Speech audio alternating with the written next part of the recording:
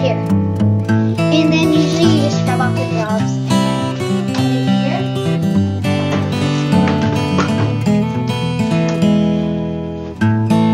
So then we'll move it to this one, and we'll this one tomorrow. We just want to ask you a few questions about recycling. Um, why do you think recycling is a good thing for the environment? Because we aren't having plastics and all those things laying around, and we aren't burning things, polluting the air, and you can reuse them.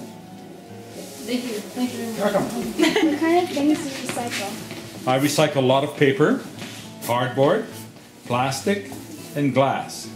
Uh, here at the store, we don't have too much uh, tin or aluminum, so that's the main things that I recycle.